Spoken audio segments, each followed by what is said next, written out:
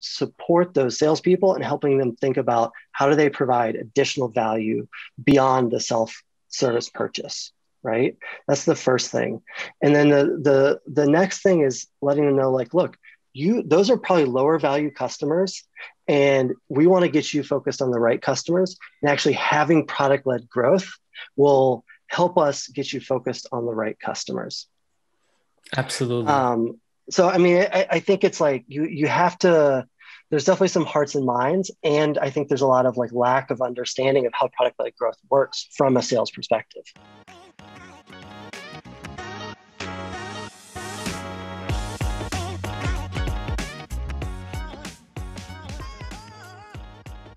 Hey everyone, Jorge Soto here, and you're watching the Product Led Revenue Show. Today I'm joined by Atlanta, Georgia based Thomas Shields, who's a product marketing executive at Mural. How are you? Hi, it's great to be here. I'm doing fantastic. Thank you so much. I don't know if I told you, but I lived in Georgia, particularly in Atlanta, about 17 years ago.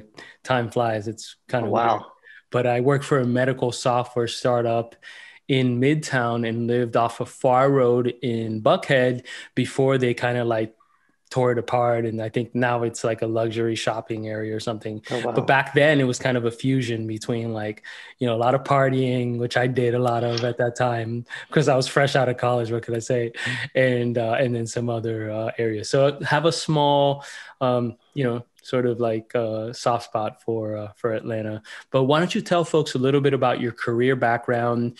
You've been in Atlanta working for some of the most innovative technology companies in SaaS. Yeah. Well, I'm I'm really excited to be here and yeah, happy to share a little bit about my experience. Um, you know, I've been in product marketing for B2B SaaS companies for almost 10 years now. And prior to that, I actually had a kind of a, a second career uh, in education, working in charter schools. So I was a teacher and then helped uh, kind of grow a charter school, uh, which I actually think was a really interesting um, background to get before getting into product marketing. Um, but I went to business school, found product marketing technology, and just kind of fell in love with with that. Um, I started my career in education technology with a company that was, you know, early in product-led growth, um, where we were marketing to teachers and students.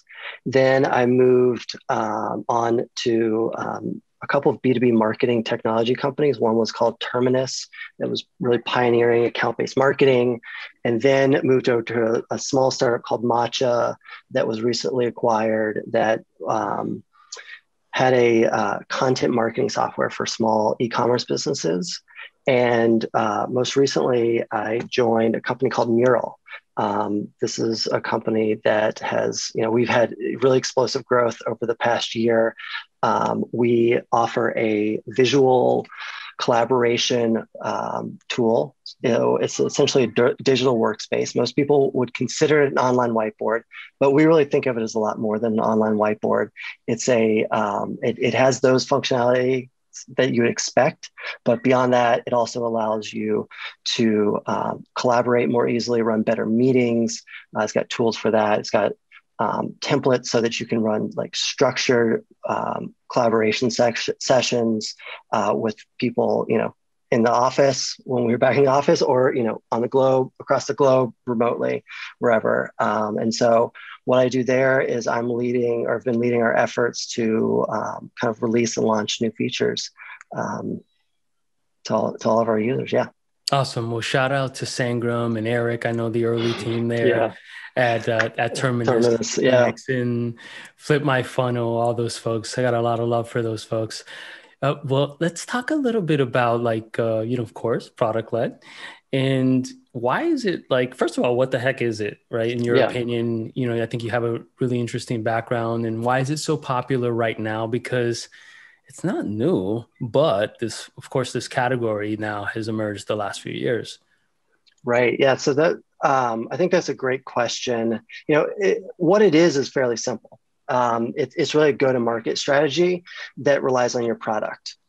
it relies on the product as you know the key driver of acquisition adoption expansion and retention right like the kind of basic elements of, of, of uh, saas growth um, but i i think it you know when you dive into it you can get a little more detailed so product led growth can doesn't have to occur across all of those aspects of the funnel right? It with acquisition it could be something that supports just generating kind of demand or, or awareness. It could be a lead uh, acquisition tool. It could be a, you know for sales it can be a qualification tool. It can help with consideration all the way down to you know purchasing and product which is what people think of most commonly. Um, I think adoption makes a lot of sense to people.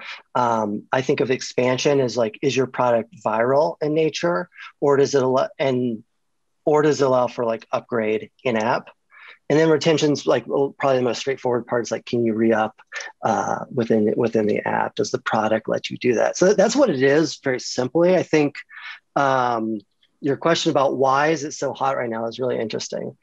Um, and I think we need to like kind of go a layer down in understanding what product led growth is. And it's at its core element, it's simply users like can see the value of the product um, immediately or, or, or very quickly, let's just mm. say, right? They can get in the product and they, they can understand the value instead of needing to uh, read a white paper like we used to do back in the day or try to so, figure out what the copy is on the website, right? The fancy right, exactly, right? Like like uh, the the the website now assists what the experience in the product versus the other way around. Um, I like, and that. I think like it's like you said, this has been around for a while. You know, companies like um, Dropbox, even um, you know some of the like super early like email services were using mm. some of this. The Mailchimp the, the, and those folks. Yeah, like yeah. have been using this for a while. I think what's what's happening now is that this strategy is that we've figured out enough about how to use it to drive growth to make it really productive. So it's kind of like at peak productivity. Um, and it's there because of kind of like I, I think there's like a few trends that have just like collided right and one is that um, you know like that's been going on for a while is the power of the consumer, right? Like, mm-hmm. n- like salespeople used to have all the keys to the castle. You know, they had all the knowledge. You had to go to, through sales, right? Um, but like everywhere in our life, that's disappearing, um, except for maybe like I don't know when you buy a mattress. That's like one that's interesting. That well, no, that's changed. Mattresses changed. Maybe real estate hasn't changed as much, but like all these businesses are changing where salespeople are, you know don't have the power they held over consumers. One. Two, I think, is um, in B2B tech, like everything's getting consumerized. That started with bring your own device, right? Like it used to be like when there was all this big question of like, can you have a smartphone, your own smartphone at work? Like that's not an issue anymore. Um, it used to be that the buyer and the user in B2B technology were completely separated. Um, you know, when I worked in ed tech, that was really interesting. It was that the administration bought the software, but then teachers and students had to use it. And what the administration cared about was totally different than teachers and students. And there's a shift now where like in ed tech and all these other places, all these other, you know, B2B spaces where you're not going to the admin, you're going to the user. And so the user experience matters, right? Um, and like when you start investing in the user experience, you can start to get to a, an, a, a something going on and experiencing your software that enables purchase that leads to value immediately. So those are kind of like two like trends that have happened where the purchase gets de-risked, right? So people want to de-risk the purchase in B2B. That's why it started to take off there. And I think there's like a third reason that a lot of people don't think about, and it's that software is starting to mature, right? Like we're, you know, like the dot com bubble was like 20 years ago, right? This is it's much crazy. more mature and Absolutely. right. Isn't that crazy to think about? it's insane. Yeah. I remember I got into the internet into particular startups um, around 2001 and it's been 20 years. It's, and we were talking about Wi-Fi like setting up wireless networks. Actually, I was in Atlanta, Georgia, working That's on a startup on the side, and then I had a daytime job. And so, to your point around consumerization, we were selling like on-prem software and I, I, would go in post sales and train the team that was my day job and in the evenings i was trying to like get people to install wireless internet networks right oh as my gosh. side gig so right totally so what's happened in those 20 years is two things. One the big like really successful players have gotten massive and super entrenched right? So competing against them is hard.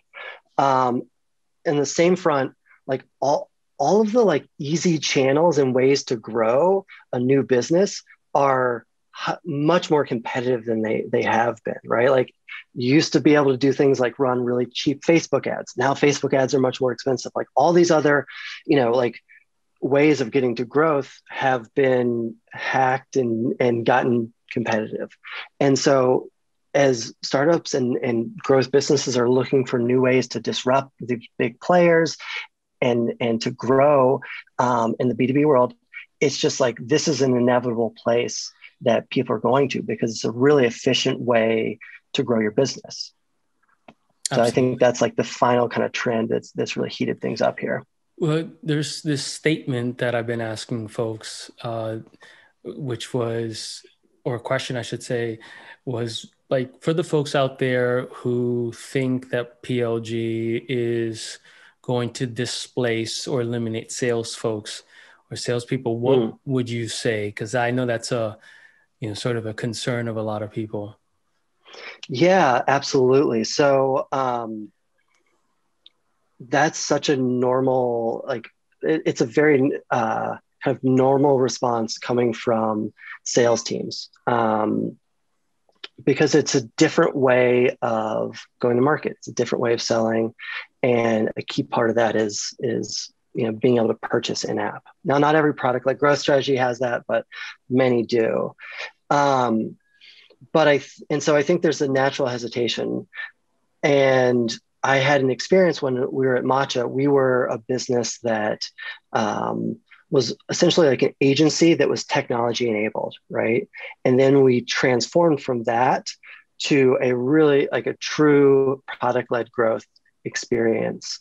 And I remember going through and working with our VP of sales to figure out one, how are we going to get him and the rest of his team excited and on board with this? And then two, um, like what were we going to do to make sure that they were going to be successful? And I think the first thing is that you've um, you've got to remind, I think, sales that. Um, well, first of all, I'll, I'll, put it this way: sales will like when when you can purchase an app, um, that makes sales really uncomfortable they kind of hate that. Hmm. and I think the way that I, I deal with that is like, first of all, I remind them, like, look, you're competing against the guy or woman sitting next right next to you, right? That salesperson, but you don't hate them. You work collaboratively with them. Now, I know this is technology and someone buying online is like not a person sitting next to you, but this is another, this is another salesperson, right?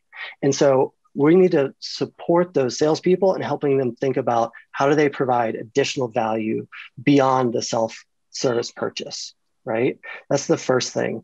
And then the the the next thing is letting them know like look you those are probably lower value customers and we want to get you focused on the right customers. And actually having product led growth will help us get you focused on the right customers. Absolutely. Um, so i mean I, I, think it's like you you have to there's definitely some hearts and minds and i think there's a lot of like lack of understanding of how product led growth works from a sales perspective. Yeah. Well i think that for example as a salesperson that was selling you know, I don't know. I'm thinking about this particular instance. I've spoken about it a, a, little bit, maybe about 13 years ago or so in in New York City. And I remember I sort of hated the long tail or product led for a period. Now I've obviously changed my mind um, for a variety of reasons, but I hated it because every time I would call up uh, a large brand like Pepsi or you know, I don't know, Microsoft or whatever I'd get this objection like, "Oh yeah, I, we know you. We're we're using your like fifteen dollar a month thing, right? And we're mm-hmm. happy with it." right and in my mind that's actually product led executed incorrectly right where they didn't think about how that long tail or that you know small uh, package or tier would affect the mid-market enterprise team. And so i think that's where a lot of the aggression at least in my mm-hmm. personal experience came from. Now if product led is executed properly if incentives were aligned properly and the funnel and sort of the the infrastructure around funneling you know lead mqls and pqls and all that kind of good stuff if your strategy essentially is put together properly then it shouldn't be a problem. I remember chatting with a sales leader at a, a, a big popular Asana. I've talked about this a little bit because I thought the strategy was so fantastic. It was like, hey, sales folks, don't worry about like the small long tail. We're going to go product led there. And of course, when they started this, when I had this conversation, this was before OpenView did the whole PLG thing. And so it was like, we're just going to let people into the product. And when they hit a certain tier of usage, then reach out and in fact, we're not going to incentivize you or, or, or, you know add any commission around anything below this tier. So you don't even give a shit. So of course, salespeople didn't even care, right? They're like, okay, great. Until it hits this, you know, tier in usage, we don't care. And so that started to create a different dynamic. And I think organizations that think that way, where product and sales teams are aligned in the entire strategy, then you'll be able to get around these things. If you're having conversations or strategies in silo, you're going to have these problems. You know, so that's right. sort of what I observed. Yeah, I think that's so interesting. It's like the that experience you described of calling on the customer, then being, nope, I already bought online, and then just the salesperson being so frustrated is so common. And I think what like companies often miss is that that's actually a, a huge opportunity right? Because there's a few like basics of like selling that are going on. One, someone who's already bought from you is more likely to buy from you again. So a salesperson should love that they can call on someone who is already a customer than someone who's totally net new and you got to explain the whole value prop. They already know the value prop to some degree, right? So then what's missing? That that salesperson doesn't like why is that salesperson frustrated?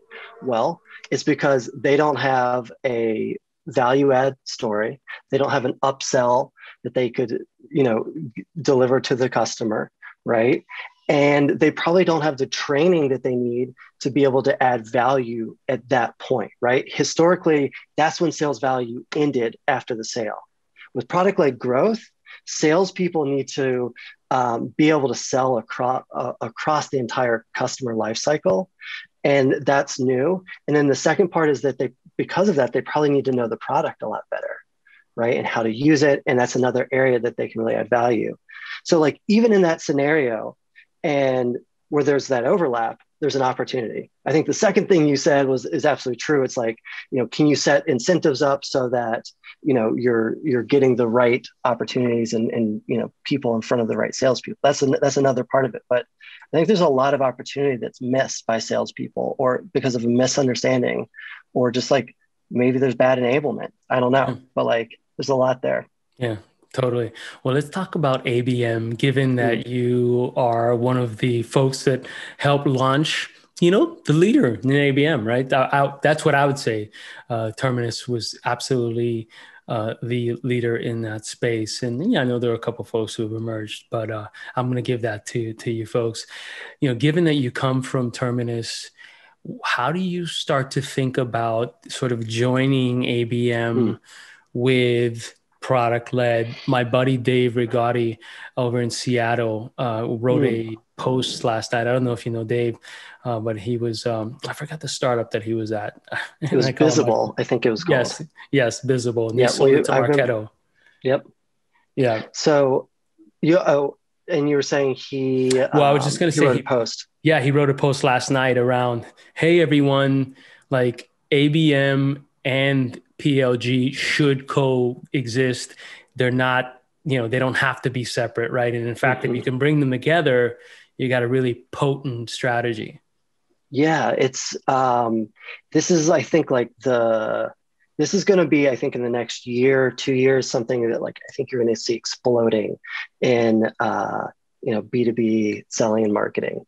Um, it's yeah, like so. Okay, so uh, at Terminus, as you, as you mentioned, like we were kind of pioneering account-based marketing. We're out there trying to like transform how mark b2b marketers market it right from you know this lead gen focus to focusing on accounts um, and all the while there was like product led growth was kind of coming up as like somewhere else right like and it's cool to see them them really converge and i think they converge in in such a nice way. And i really think it's going to be the future of enterprise selling. Um, let's see. So like maybe just start like what is abm right? It's about it the most basic level it's about targeting the right people, the right accounts that you want to sell to, instead of just bringing in anybody uh, and their cousin into the funnel and passing passing them on to sales. Right? It's about getting focused on the most valuable prospects, most valuable potential customers, and making sure that sales and marketing are working together on them. So that's the second part. It's about collaboration, aligning marketing and sales uh, to work together so that you know you're super efficient with your resources and you're winning more deals so that, that's kind of like the basics of abm um, and i think this is where like if you think about the basics of abm is where like product led growth integrates well. So to know who to target historically in ABM, companies have you know purchased data and look at looked at their customer base and you know maybe use like some sort of AI algorithm to like predict who which other accounts are most like their best customers, and that's all great. That's a great way to identify who is good, a good fit for you, and then maybe you'd see like who is also checking out your ebooks, right? Well, now with product led growth, you can add this layer of who's actually using your product and are they liking and loving and getting value out of your product right so if you know who your best customers are like from a, like a marketing standpoint as we're talking about and then you know that there's people in there who love the product and are using it, that right there is like that's who sales needs to be talking to. They need to get on the phone to that champion and and and go. And so to me, it's it's there's this just natural blending of like the core basics of ABM and product led growth. Um, and I think it's what's been needed. I think like one of the critiques of product led growth is that it's not people who are resistant to it say, well, I sell into the enterprise, uh, large enterprises, and it's never going to work there. Um, I've got to, you know, go through infosec people and all this, but it's it's it's actually proving out to those objections are not not accurate, and it's actually I think enhancing uh, companies' abilities to penetrate enterprises. Yeah, totally. I I always tell the story of a moment where I worked at Twitter and I remember sitting down with the, at the time, uh, co founder and uh, CEO, Matt Bellows at Yesware. And mm. I told this story a couple times, and Matt was like, dude, we apparently we got tons of people swiping their credit card for whatever it was 15 bucks a month and uh, and so we saw a bunch of usage in, in, domains from Twitter using our tool. And now we're here. Of course, he was a buddy of mine. So, because uh, I was like, what the hell are you doing here? He's like, yeah, we're doing an enterprise deal. Right. And so it's absolutely not true. It's just about how you sort of deploy it. And you know, the other thing that we're advocating here at Reprise is product led. As you know, you know, we met in the, the roundtable, and thank you so much for providing insight. I, yeah. When I heard you speaking, I was like, I gotta get Thomas on the show. So thank you. And uh, the other thing is, yeah, it doesn't have to be very top of the funnel, right? Even if you have a web form, you can go into product led after the top of the funnel entry point, right? And so, you know, that might look like, of course, what we do or some other version of that. I don't know, whatever you want to use, you know, uh, in, InVision, Figma, some competitor, that's fine, you know, but the idea is that you are now going product led and really giving folks the, an opportunity to dig in to your product, irrespective of where it uh, is inserted in the sales motion. So, you know, that's uh, I think just for for enterprise or mid market company leaders out there, you can absolutely go product led.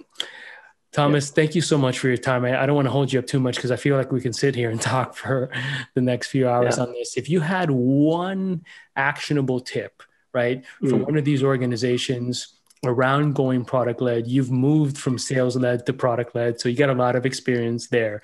You know, I know there's a thousand tips that probably come to mind, but if you have one that they could implement like tomorrow or hmm. start mm. on the journey, what, what would that be?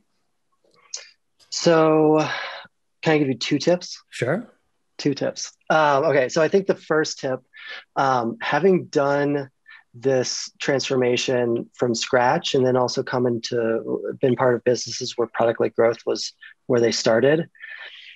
I think the f- first piece of advice I would give is take an incremental approach. Right? Don't try to solve the whole product led growth process and funnel in one go. And I think where most people start on that incremental path to a, a bigger product led growth strategy is with onboarding. So make onboarding automated and in the product. Um, start there, and then you can expand up the funnel, down the funnel. That's that's I think the place to start from my experience.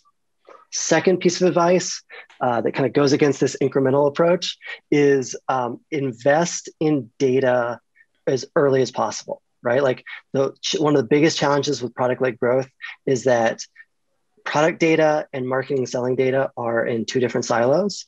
And the tools out there there's not a lot of tools out there that make it easy to bring them together.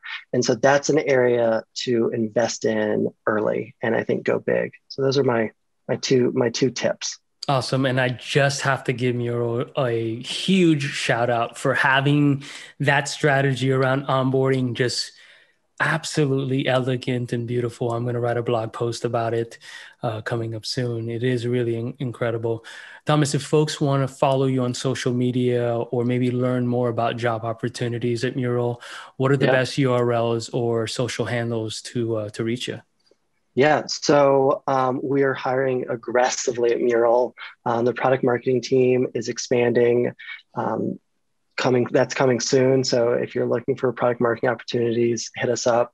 Um, you can check out our website, mural.co, M-U-R-A-L.co. And I'm on LinkedIn as well as Twitter. Uh, my Twitter handle is at TL Shields, S H I E L D S. And so I'd love to hear from folks um, on LinkedIn or Twitter. Cool. Well, have a wonderful afternoon and uh, hope to see you soon in person. Fantastic. Thanks for the time, and uh, it's great to chat. Likewise. Take care.